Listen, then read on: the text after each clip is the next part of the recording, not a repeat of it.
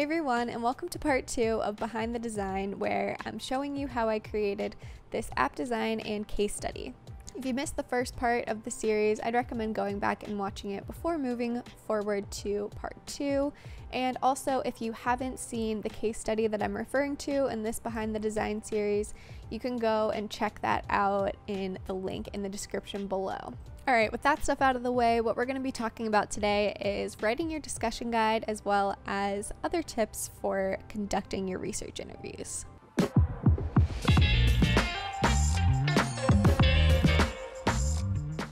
So, I'd recommend putting together this discussion guide that we're about to go through while you are recruiting. And that way, whenever you get to the end of your recruitment and you're ready to reach out to people, you're already ready to start conducting those interviews right away. So, like any good outline, this discussion guide is going to have three main parts the introduction, the discussion, and the conclusion. And the introduction and conclusion are actually important, which is why I'm including them here. The introduction is where you're going to introduce yourself and um, you know make sure that the person's really comfortable with you kind of break the ice talk about um, kind of what's going on with them how they're doing. You can just kind of set the stage for how this interview is going to be. Like i mentioned in the previous video i wanted my interview to be very much a conversation and a very casual conversation like you would have with a friend. And so that is why i spent a good amount of time just kind of getting comfortable with the person before I jump into the questions. And while you're doing that, it's also important to let them know or to ask them if they'd be comfortable if you record the session.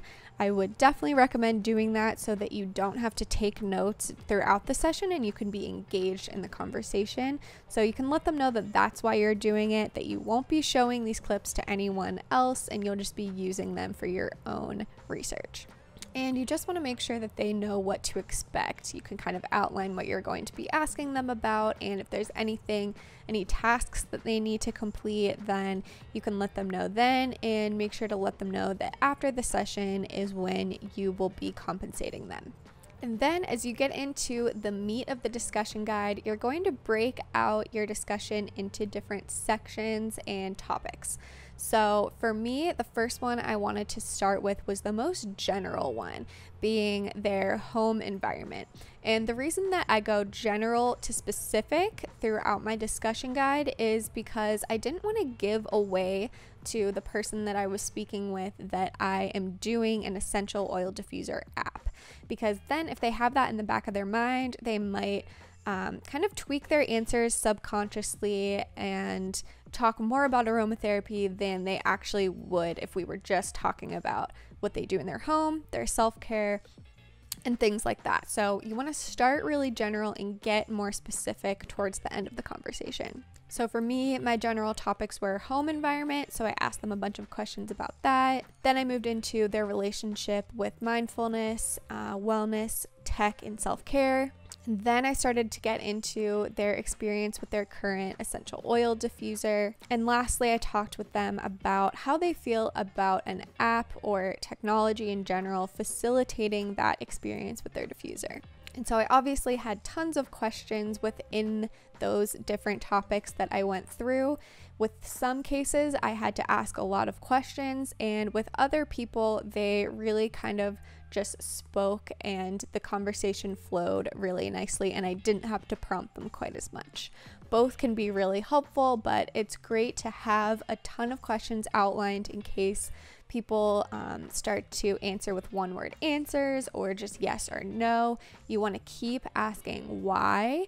Um, if they start to do that, and it's just great to have a ton of questions planned out in case the conversation gets a little bit slow. And lastly, with the conclusion, you want to ask them if they have anything that they want to add that they think you should have asked about, but you didn't. You want to ask them if they have any questions for you. And then, if they're interested, you can tell them what your um, project is all about after they've answered all the questions. Um, if they're super curious, then it, I think it's great to let them know what you're researching for, and usually they'll be super interested in it and they'll ask you more questions once um, you start talking about your project. And of course, at the end, along with compensating them, you want to make sure you thank them and really get across that you appreciate their time and their willingness to open up and have this conversation with you.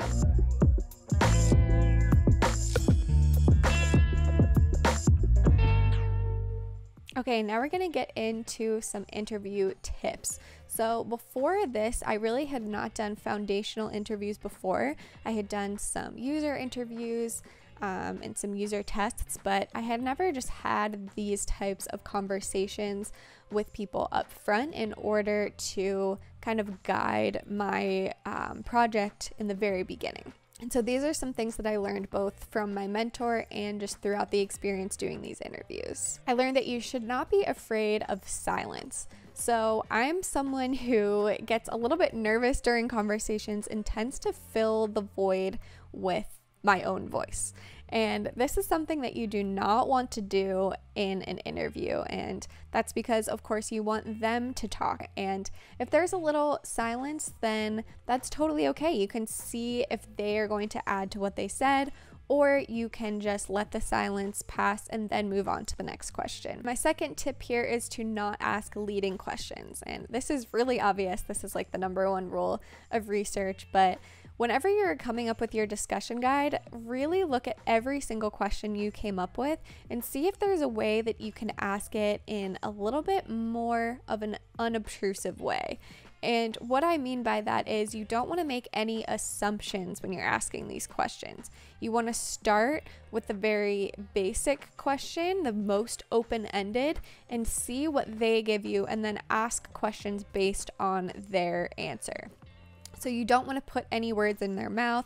You don't want to assume that they feel a certain way or that they have a certain experience. You want to get what their feeling is, what their experience is, and then ask why and ask more clarifying questions about that. So here's an example. You don't want to ask a question like, Would you want an app to remind you when it's time to clean your diffuser? A better question would be what kinds of reminders would you find helpful from a smart diffuser app? And then once they start answering that question, then you can get a little bit more specific if you want by asking, would this type of notification help? Would this type of reminder help? But I think it's important to get their first reaction to the more general question first and then go off of that. And lastly, I know I mentioned this a couple times, but you definitely want to keep asking why, especially if you have a research participant who's answering in yes or no answers or just answering in one or two words and not going in depth. It's okay to keep asking why. A lot of times in UX research, it's not as important what a person does, but why they do it. So their motivations and their beliefs and their expectations are really what counts. All right, guys, that's all I've got for you today. I really hope you found that helpful. As always, if you have any questions, leave them in the comments below, and I'll see you guys in the next video where we're going to be talking about synthesizing your data and findings from your research.